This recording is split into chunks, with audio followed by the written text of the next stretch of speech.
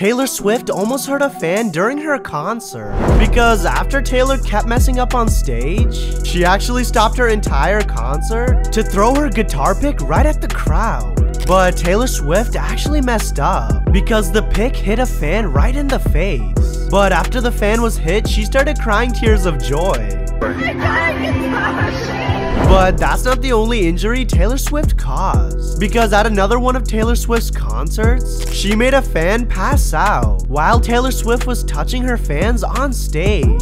Because this one fan got really excited after Taylor Swift noticed him. And the fan actually fainted, but nobody helped him. But if you want to touch, subscribe.